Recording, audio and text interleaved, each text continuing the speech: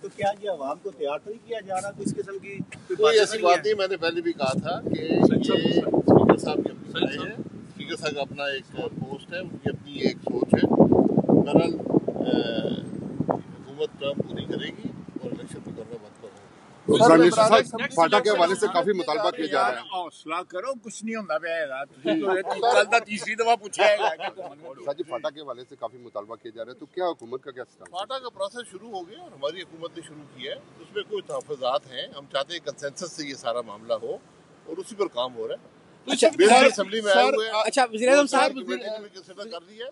اور اس کو انشاءاللہ ہاؤس بھی کنسیڈر کر کے کر دے گا۔ سر پیپلز پارٹی انصاف اخباروں میں ہے اس کے علاوہ کوئی سر تحریک وزیر اعظم صاحب آپ گئے ہیں۔ سر امریکہ گئے ہیں تو پتہ چلا ہے ساری قوم کو کہ کوئی پاکستانی وزیر اعظم امریکہ گیا ہے۔ جبکہ عمران خان کہتے ہیں کہ آپ کو وزیر اعظم مانتا کوئی نہیں ہے۔ سر خان صاحب کا کہ وہ جو ایجنڈے میں شامل تھا جو فاٹا ریفارم اس کے مرجر کے حوالے سے پھر اچانک وہ جی ایجنڈے میں شامل تھا کچھ لوگوں کے تحفظات تھے ان کو دور کر رہے ہیں تاکہ کنسنسس ہے یہ ایک پروسیس ہے۔ یہ ایک دن میں حل نہیں ہوگا ایک بل سے حل نہیں ہوگا یہ ایک پروسیس ہے تو سب کو اس میں شامل ہونا ضروری اچھا وزیر اعظم صاحب جب ایک مضبوط ترین جو اسمبلی ہے اس کا اسپیکر یہ کہے کہ اسمبلیوں کو مدت پوری ہونے نہیں دی جا رہی تو اس کا کیا مطلب ہے؟ کون سی ایسی طاقتیں ہیں جو روک رہی ہیں؟ دیکھیں، یہ اس کا جواب اسپیکر صاحب ہی دے سکتے ہیں، کیونکہ انہوں نے اسٹیٹمنٹ انہوں نے دی ہے۔ میں نے پہلے بھی کہا کہ حکومت اپنی ٹرم پوری کرے گی اور الیکشن وقت پر ہوں گے۔ یہی جمہوریت کی ضرورت ہے، یہی ملک کی ضرورت ہے۔ حکومت کو کوئی کسی سے خدشہ نہیں ہے۔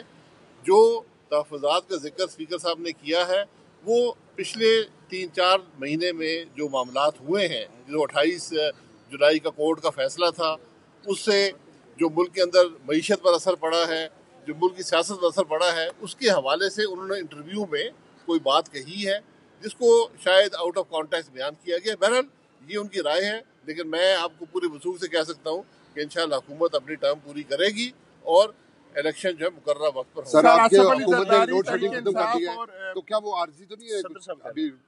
کا مستقل بدماشی ہے سر عمران خان صاحب کا جواب نہیں دے رہے پرائم منسٹر صاحب سر سوال کرنے دیں سر کرنے دیں کرنے دیں پلیز جو ہے بھرپور احتجاج کے لیے تیار ہے پیپلز پارٹی تحریک انصاف اور تحر القادری کیا سمجھتے ہیں کہ گورنمنٹ ان کو ڈیفینڈ کرنے احتجاج کی ضرورت نہیں ہے احتجاج کرنا ہے۔ پندرہ جولائی کو الیکشن ہوں گے وہاں اگر عوام کے سامنے احتجاج کر لیں عوام جواب دے دیں۔ سر خان صاحب نے مینڈیٹ پہ سوال اٹھایا سر خان صاحب نے مینڈیٹ پہ سوال اٹھایا ہے کہ مینڈیٹ لے کے نہیں آیا آپ اور یہ بھی کہا ہے کہ ساتھ وزیر اعظم مانتا بتا نہیں دیتا ہوں اسمبلی کا ریکارڈ چیک کر لیں۔ خان صاحب نے کتنے ووٹ لیے تھے ان کے امیدوار نے اور ہم نے کتنے لیے تھے تو جواب ان کا سامنے۔ اس ذرا آپ کو- عمران خان صاحب کے حوالے سے آپ کافی جو ٹھیک ٹھاک جو مینڈیٹ کے حوالے سے تو آپ کیا کہیں گے؟ وزیر اعظم صاحب نے جواب دیا اس کے بعد میرا جواب دینا مناسب سر کچھ آپ کا لیکن سر آج نیکسٹ الیکشن کے حوالے سے کیا اسٹریٹجی بننے جا رہی ہے کیا دیکھیں جی ہم مین صاحب واپس آتے ہیں ہم الیکشن کی اسٹریٹجی جو ہے آلموسٹ تیار ہے اس کو فائنلائز کرتے ہیں اور الیکشن کمپین جو ہے اگلے مہینے شروع ہو جائے گی سافٹ لانچنگ تو شروع ہو جائے گی اور ان شاء اللہ تعالیٰ جولائی میں الیکشن ہے اور اس میں سب کو پتہ لگ جائے کتنے پانی میں کوئی ہے۔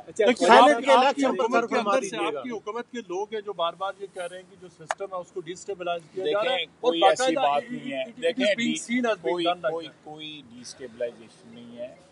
اللہ کے فضل سے ہم نے بجلی بھی کے اوپر بھی ڈلیور کر دی ہے گیس بھی ڈلیور کر دی ہے اکانومی آپ کی ٹھیک ہے۔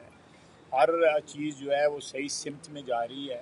تو اس میں میں جو ہے میں وزیر اعظم صاحب آپ کے سامنے اس وقت کھڑے ہیں۔ ڈلیور ہو رہا ہے، ہمارا ایجنڈا جو ہے، ہمارا مینیفیسٹو ڈلیور ہو رہا ہے۔